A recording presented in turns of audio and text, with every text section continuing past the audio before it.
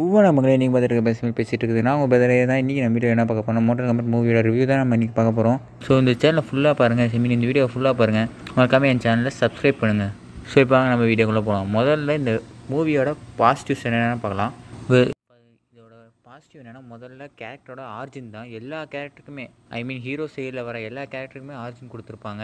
நம்ம கோலியங்க ஆகட்டும் சோனியா பிளேட் ஆகட்டும் ஜாக்ஸ் ஆகட்டும் கானோ ஆகட்டும் ஸ்கார்பியன் ஆகட்டும் எல்லாத்துக்குமே ஆர்ஜின் கொடுத்துருப்பாங்க. பட் ஏன்னா கேம் அக்யூரேட் ஆர்ஜின் இல்லைனாலுமே ஸோ இவங்க எல்லாத்தோட ஆர்ஜின் டிஸ்கஸ் பண்ணது எனக்கு ரொம்ப ரொம்ப பிடிச்சிருந்தது.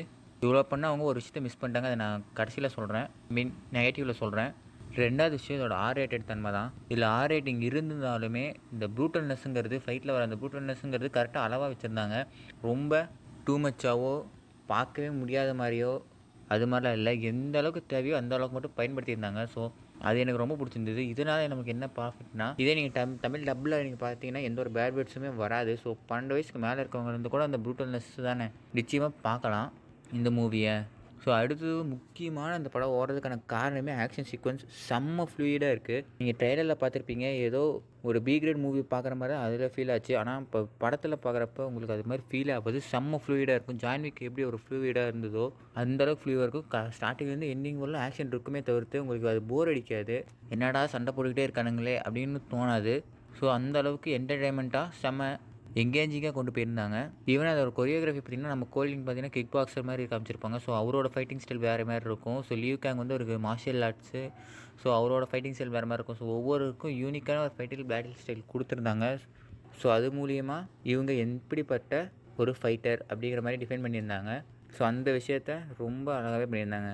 ஸோ அதுக்கடுத்து பேக்ரவுண்ட் மியூசிக் போனேன்னா அது பாசிட்டிவில் சொல்ல மாட்டேன். நியூட்ரல் பாயிண்டில் தான் சொல்லுவேன். நான் மேக்ஸிமம் இந்த ஸ்கார்பியன்ஸ் சப் ஜீரோ ஃபைட்டுக்கு அந்த ஹைகானிக்கான அந்த பேட்டர் சாங் போடுவாங்கன்னு நினச்சேன். இந்த மோட்டர் கம்ப்யூட்டரோட தீம் வரும்னு நினச்சேன்.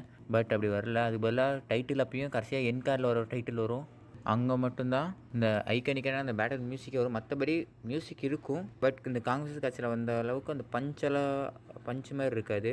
ஜஸ்ட் மியூசிக் இருக்கிறத ஃபீல் பண்ணுவீங்க. அந்த லெவலில் தான் இருக்கும் அதுக்கடுத்து இந்த மூவியோட விஎஃப்எக்ஸ் தான். இந்த மூவியோட பட்ஜெட் பார்த்தீங்கன்னா ஃபிஃப்டி ஃபைவ் மில்லியன் தான். கிட்டத்தட்ட ஜோக்கர் மூவியோட பட்ஜெட் தான் இது. ஸோ அந்த பட்ஜெட்லேயே இவ்வளோ அழகாகவே ஐ மீன் எந்த இடத்துல விஎஃப்எக்ஸ் தேவைப்படுதோ அந்த இடத்துல கரெக்டாக யூஸ் பண்ணியிருக்காங்க அது மட்டும் இல்லாமல் அது டோன் டவுனாக தெரியல. கரெக்டாக இருக்குது ஸோ இதில் மேட்ரே அதுதான். எப்படி இந்த பட்ஜெட்டை இவ்வளோ அழகான விஎஃப்எக்ஸ் கொடுத்தா எனக்கு தெரில பட் நிறைய யூஸ் பண்ணியிருக்காங்க விஎஃப்எக்ஸை நான் கம்மியாக தான் யூஸ் பண்ணுவாங்கன்னு நினச்சேன். எக்கச்சக்கமான விஎஃப்எக்ஸ் ஷார்ட்ஸ் இருக்குது அதையும் கரெக்டாக ஹேண்டில் பண்ணிட்டாங்க. கிட்டத்தட்ட ஜேம்ஸ் வான் படத்தை காப்பாற்றிட்டாங்கன்னு வச்சுக்கோங்க. அவரை நம்பி படத்துக்கு போனேன் நான். அவர் டிசப்பாயின்மெண்ட் பண்ணலை என்ன. அப்புறம் பார்த்தீங்கன்னா கேரக்டர்ஸு இப்போ கானோ எடுத்துக்கிட்டிங்கன்னா ஒரு ஆன்டி ஹீரோ தான். ஸோ அதனால் அந்த ஆன்டி ஹீரோவை ஸ்டார்டிங்கில் காமெடி மாதிரி காமிச்சிட்டு இருந்தாங்க. ஸோ இந்த மூவி ஃபுல்லாக ஒரு ஆன்டி ஹீரோவை மாற்ற மாட்டாங்களாட்டிருக்கு. ஒரு காமெடி மாதிரியே வச்சுருவாங்கன்னு நினச்சேன். பட் ஆனால் ஒரு ஆன்டி ஹீரோனா ஆன்டி ஹீரோவாக தான் இருக்கணும். வில்லன்னா வில்லனாக தான் இருக்கணும். ஸோ அது மாதிரி கேமில் இருந்து அப்படியே கொண்டு வந்திருந்தாங்க. அந்த விஷயங்கள் எனக்கு ரொம்ப ரொம்ப பிடிச்சிருந்தது. ஸோ அடுத்து நம்ம இந்த மூவியோட நெகட்டிவ் கிட்ட போகலாம் இந்த மூவியோட பெரிய பெரிய நெகட்டிவ் என்னென்னா அவங்க இந்த படத்தில் மோட்டார் காம்பேட்னா என்ன அப்படிங்கிறத எக்ஸ்பிளைன் பண்ணவே இல்லை. அவங்க ஸ்டார்டிங் ஃபைவ் மினிட்ஸில் அது எப்படின்னா என்ன எக்ஸ்பிளைன் பண்ணுவோம்னு சொல்லியிருந்தாங்க. பட் ஆனால் அது செய்யவே இல்லை. ஸ்டார்டிங்கில் சப்ஜீரோவுக்கும் ஹான்சோ ஹிஷாஷிக்கும் ஒரு ஃபைட் வரும். அது முடிஞ்சோடனே டைட்டில் கட் மாதிரி போடுவாங்க. அவ்வளோதான் ஸோ அதுக்கப்புறம் நம்ம சோனியா பிளேட் எக்ஸ்பிளைன் பண்ணுவாங்க. நாங்கள் அவங்க தெளிவாக எக்ஸ்பிளைன் பண்ணுவாங்கன்னு எதிர்பார்த்தேன். பட் அவங்களுக்கு மோட்டார் காம்பேட்டை பற்றி ஃபுல்லாக தெரிஞ்சிருக்காது.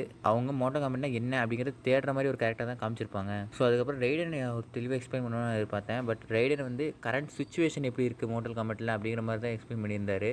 ஸோ நீங்கள் இந்த படத்துக்கு போகிறதுக்கு முன்னாடி இந்த மோட்டார் காம்பேட்னா என்ன அப்படின்னு தெரிஞ்சுக்கிட்டு போங்க. இல்லைன்னா இந்த படம் உங்களுக்கு சுத்தமாக புரியாது. என் கூட வந்து ஒரு மூணு பேருக்கு ஏன் அவனுங்க சண்டை போகிறாங்கன்னே புரிஞ்சுக்க முடியல. ஜஸ்ட்டு ஸ்க்ரீனில் இருக்க ஆக்ஷனாக ரசிக்கிறாங்க அவ்வளோதான் அது மட்டும் இல்லாமல் ஸ்டார்டிங்கில் செத்த கேரக்டர் எப்போ கடைசி உயிரோட வந்துச்சு அது நான் யாரும் சொல்ல விரும்பலை. நம்ம மண்டேல மூவியோட கதை விளக்கத்தில் பார்க்கலாம். ஸோ அவங்ககிட்ட எக்கச்சக்கமான கொஷின் இருக்குது அதாவது ஃப்ரெஷ்ஷாக பார்க்குறவங்களுக்கு இந்த மூவி எக்கச்சக்கமான கொஷினை தான் ஏற்படுத்தும். ஒரு கேமருக்கு ஒரு கேமருக்கு இந்த மூவி ஃபுல் சாட்டிஸ்ஃபேக்ஷன் ஒரு ஹண்ட்ரட் மார்க் கொடுத்துருவாங்க. என்ன கேட்டால் நான் கொடுத்துருவேன் நான் மோட்டர் கம்பெனி விளாண்டுருக்கேன் பட் ஒரு ஃப்ரெஷராக இப்போ தான் நான் போய் டேரெக்டாக இந்த மூவி பார்க்குறேன்னா நான் ஃபுல் மார்க் கொடுக்க முடியாது. ஒரு ஃபிஃப்டி பர்சன்ட் சிக்ஸ்டி மார்க் தான் கொடுக்க முடியும். பிகாஸ் முக்கால்வாசி பேரால் அங்கே என்ன நடக்குது ஸ்க்ரீனில் என்ன ஓடிட்டுருக்கு அப்படிங்கிறத புரிஞ்சிக்கவே முடியல. நீங்கள் படத்துக்கு போகிறதா இருந்தீங்கன்னா தயவு செஞ்சு தெரிஞ்சுக்கிட்டு போங்க. மோட்டர் காம்பேக்ட்னா என்ன? அப்புறம் ரிலம்னா என்ன? ஓரளவுக்கு கேரக்டரோட ஆர்ஜினை தெரிஞ்சுக்கோங்க. பிளாங்காக படத்துக்கு போனீங்கன்னா உங்களை அதே டிஸப்பாயின்மெண்ட் பண்ணிடும். ஒரு நல்ல படத்தை மிஸ் பண்ணிடுவீங்கன்னு தான் நான் சொல்லுவேன். இல்லைன்னா ஒரு நல்ல படத்தை தப்பாக புரிஞ்சுக்குவீங்கன்னு நான் சொல்லுவேன். ஸோ அவ்வளோதான் கைஸ் இந்த வீடியோ உங்களுக்கு பிடிச்சிருந்தா நம்ம சேனல் சப்ஸ்கிரைப் பண்ணுங்கள் and signing off by brother